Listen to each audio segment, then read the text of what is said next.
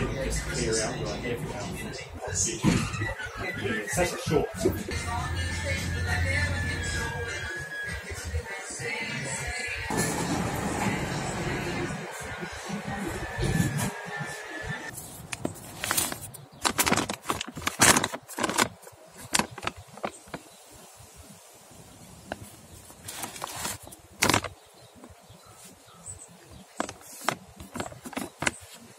Great for tomato and heart.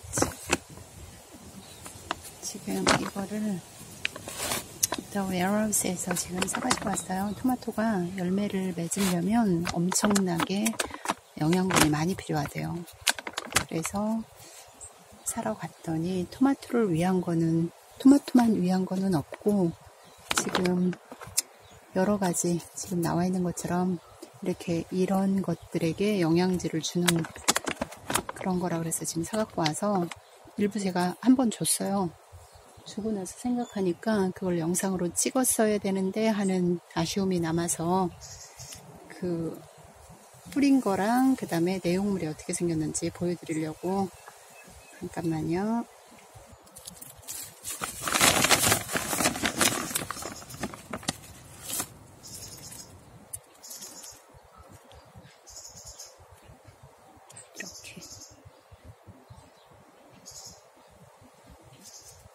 여기 보면 지금 뿌려가지고 제가 흙이랑 호미로 파가지고 지금 이렇게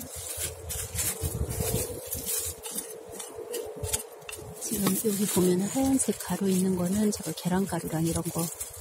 계란이랑 커피랑 섞어서 한 건데 커피는 어차피 땅하고 같은 색깔이니까 안 보이는데 이 하얀색은 여기 하얀색 보이는 것들은 계란 빻아서 부었던 거.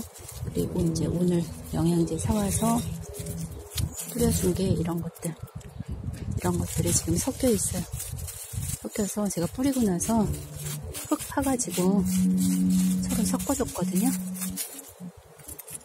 여기는 고추 심어줬던 거 고추 심어줬던 것도 마찬가지로 이렇게